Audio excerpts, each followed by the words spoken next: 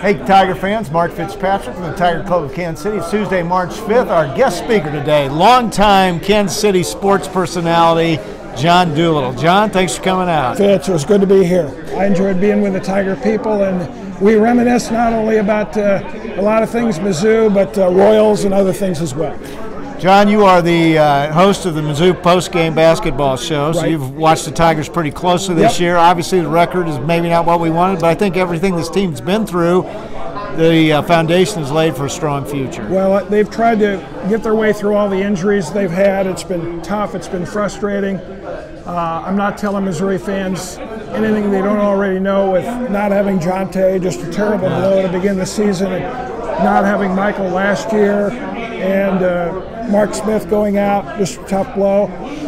For them to be close to 500 with a chance of a 500 overall record when it's all said and done, I think that's a great goal to have and get the thing, get positive momentum here at the uh, beginning of March into next season. I've really been uh, uh, excited to watch the development of the three freshman guards from the beginning of the season to where they are now. And then we saw Torrence Watson in the last game go for 20 points, and I think he's really taken a step out. They seem to be maturing, and they're the kind of kids that are going to stick around and, and help the team going forward. I hope so. Uh, again, freshmen are asked to play more now and contribute right away more now, and, and those guys have had their ups and downs. Some of them might have hit the wall and, uh, and are bouncing back. Uh, Watson seems to be playing Yeah, his best basketball right now. Back to back, best games of the season for him, a dozen, and then the other day with 20. And man, those shots in the lane, three point play, Yep. one of them, and then uh, one on the left wing and one on the right wing. He's just step up and have the confidence to knock those in. That was pretty good. You watch a ton of college basketball. I do. It's been a really interesting season across the nation. It doesn't appear that there is a prohibitive favorite for the national championship this year. Who do you like going into March? I think you probably still have to favor Duke. Uh, I If think- Zion Williamson's healthy. Yeah, I think he's going to be back soon. yeah. I think I think he's getting closer to being cleared. They still have, even without him, as you know, they have it's a pretty good Barrett. They have a fair, fairly good amount of McDonald's All Americans. Uh, as I always call them, the glamour teams. Yeah. That's they're always going to be there. A glamour team has won the NCAA tournament in the Final Four every year. Every year.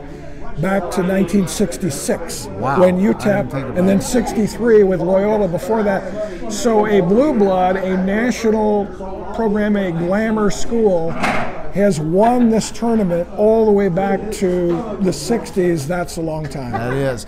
Uh, changing gears for just a little bit, you spent a lot of time covering the Royals over the years. Uh, Mm-hmm. It's going to be an interesting season. I think it'll be a fun team to watch.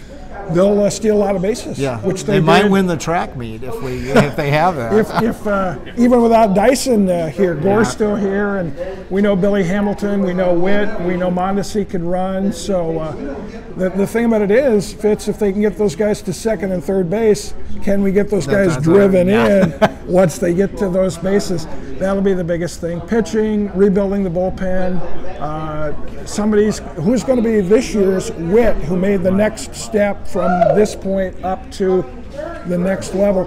Uh, O'Hearn at first base. Uh, he had a great second half, but when he, if he starts the season at first, what's he going to do? Might be the last year of Alex Gordon here. He's had a good career Yeah. here. He may have a statue. Ned may have a statue.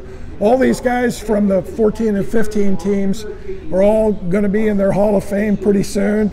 Uh, it was a great time to be a Royals fan during that time, and we're trying to build 2.0 version of what we had about five years ago. If they have a statue of Ned, will he be smiling or will he? Probably be, not. Okay.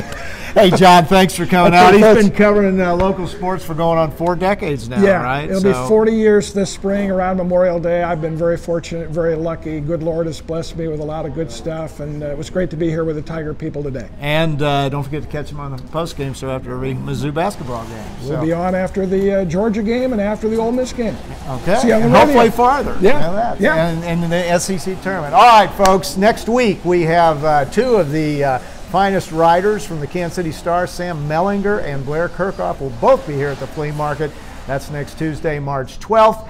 Don't forget for more information on membership and our upcoming golf tournament, check us out at kctigerclub.com.